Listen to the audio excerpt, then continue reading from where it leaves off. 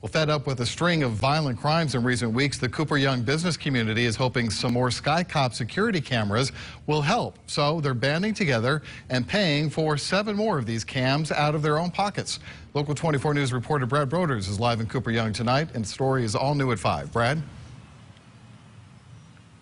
Good evening, Richard. Those cameras will go here at Cooper and Young and other well-traveled Cooper Young intersections. Meanwhile, those who've lived here for years wonder if more blinking lights on these blocks will actually deter crime.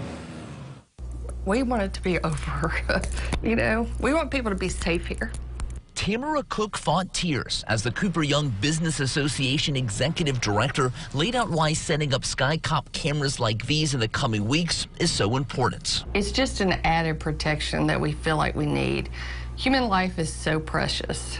The reality of violent crime, a major focus in recent weeks for many who work and live in this neighborhood. Last month, two women in separate areas of Cooper Young were attacked, and one was briefly kidnapped. I was ki drop kicked, dragged by my hair at gunpoint to the car. That was the final straw that broke the back. But others who live in Cooper Young were skeptical whether more Sky Cop surveillance will lead to safer streets. I don't necessarily think the cameras are going to protect anybody. Um, I think it's it could be a, a false sense of security. Patrick Durkin moved to Cooper Young 10 years ago and believes more patrols on the ground, not cameras overhead, would be a stronger solution.